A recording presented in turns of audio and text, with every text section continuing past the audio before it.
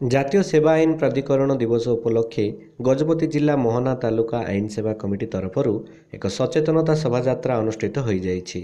ମୋହନା କୋର୍ଟର ବିଚାରପତି ମନୋଜ କୁମାର ମହାନ୍ତିଙ୍କ ନେତୃତ୍ୱରେ କୋର୍ଟ କର୍ମଚାରୀ ଏବଂ ହିଲଟପ୍ ଉଚ୍ଚ ମାଧ୍ୟମିକ ବିଦ୍ୟାଳୟର ଛାତ୍ରଛାତ୍ରୀମାନେ ଏକ ବିରାଟ ସଚେତନତା ଶୋଭାଯାତ୍ରାରେ ସହର ପରିକ୍ରମା କରିଥିଲେ। ଏହା ସହ ଜନସାଧାରଣମାନଙ୍କୁ ବିଭିନ୍ନ ଆଇନ ସମ୍ବନ୍ଧରେ ଅବଗତ କରାଯାଇଥିଲା।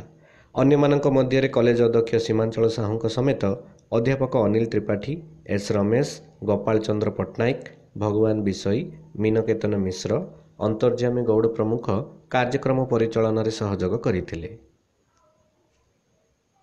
ଗଜପତି ଜିଲ୍ଲା ମୋହନାରୁ ପିଣ୍ଟୁ ପ୍ରଧାନଙ୍କ ରିପୋର୍ଟ ଉତ୍କଳ ଖବର।